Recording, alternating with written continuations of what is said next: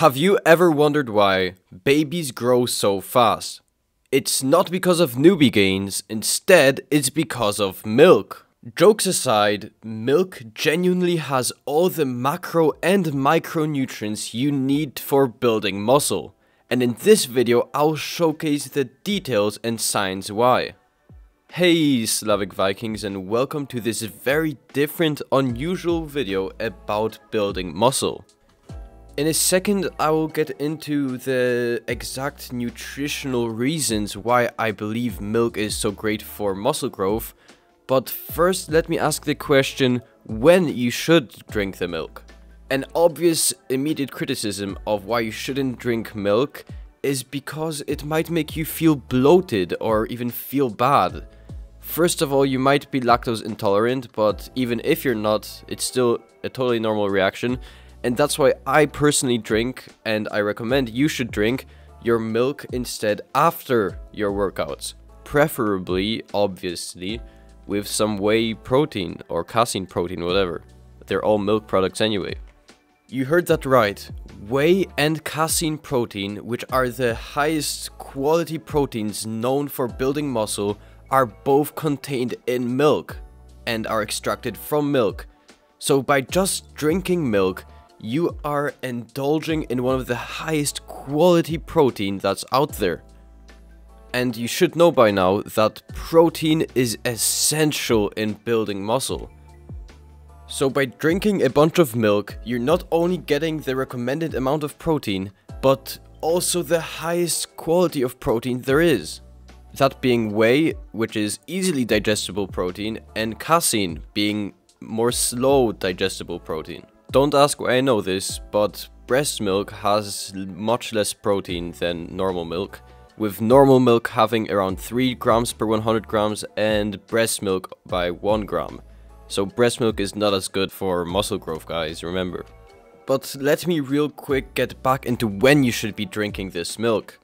So there are real studies that showed that there is some benefit to drinking milk after workouts since they have energy providing nutrients and electrolytes. And these things help in recovery. So drink it after your workout, not before, remember. The one thing we all know about milk from since we were small children is that milk is high in calcium. And calcium is crucial for muscle development but especially bone health. And obviously you want healthy bones if you're working your muscles, for them not to snap the other way, like they do sometimes. Even Sam Sulek knows this, look how much chocolate milk he's chugging. Most people don't know this, but your muscles are not the primary factor when determining how strong you are. Instead, your nervous system plays a much more vital role, since when training, especially with a lot of weight, you're actually training your nervous system to withstand more weight. And guess what helps with the function of nerve signaling? That's right, potassium. And potassium is very much present in milk, so that's another reason you should drink milk. Oh, we already stopped talking about bones? Well, guess what? Phosphorus is also in milk and is also very important for bone health. However, it also is responsible partly for muscle repair. So phosphorus being responsible for bone health and repairing your muscles is yet another very vital part of milk for building muscle.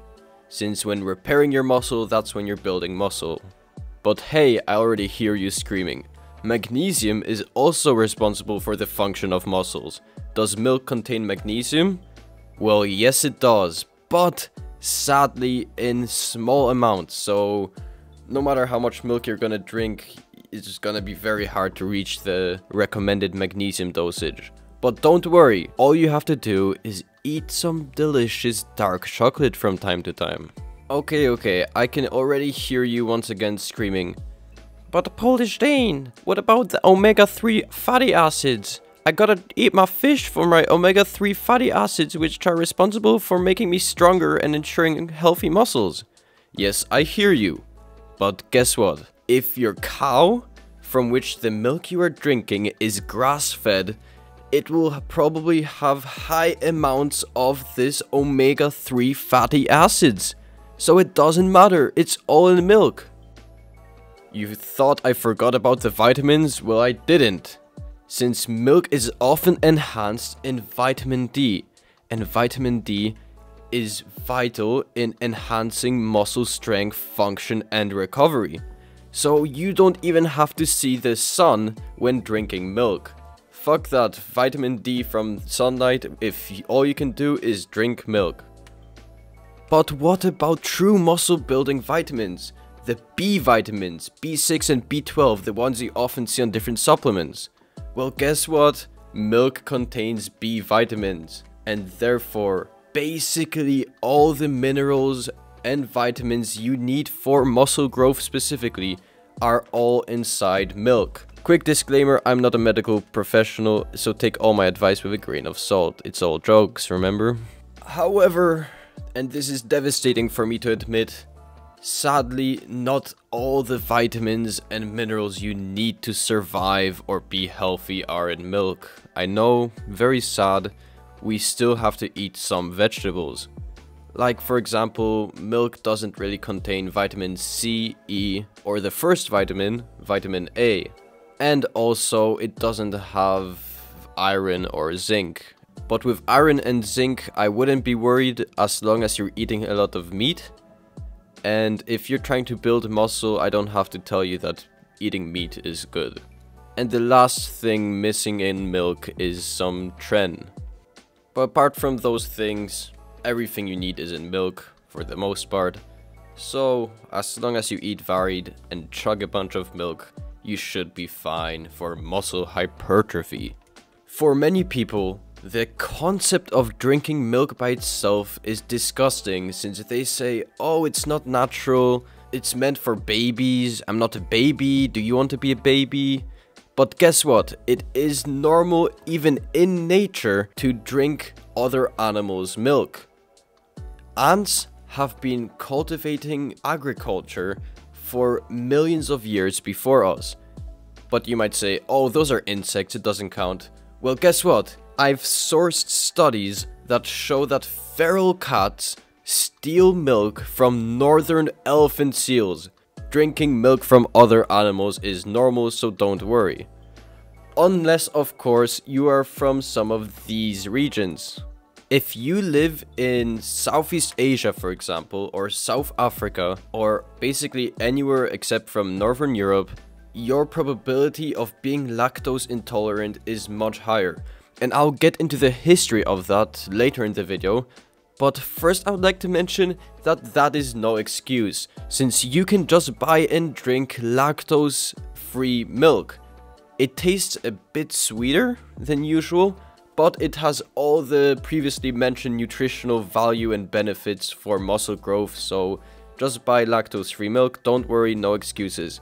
But then you might say, I don't like the taste of milk. Well, are you aware of the huge amount of dairy products that contain a bunch of milk or are made from milk, which will give you the same or very similar nutritional benefits, like butter, cheese, cottage cheese, yogurt, hot chocolate, many candy bars are mostly milk, ice popsicles, ice cream, kefir. A bunch of these things contain milk, so you have no excuses, go eat some milk or drink it, I guess. People that tell you that milk is unhealthy are the same type of people to tell you vaccines cause autism. Everything I'm about to say is referenced from a real scientific study that is sourced in the description. However, I do have to mention that many of the scientific studies are funded by dairy platforms, basically companies that produce milk or produce products with milk. So that is a thing worth to remember, but people often forget about how the scientific process is conducted in our Western world. Like, just because you fund a scientific study doesn't mean that it's untrustworthy. These scientific contracts are often conducted in such a way that despite the results from the studies, they still have to release it despite if it was a good or negative outcome. So that is also worth remembering.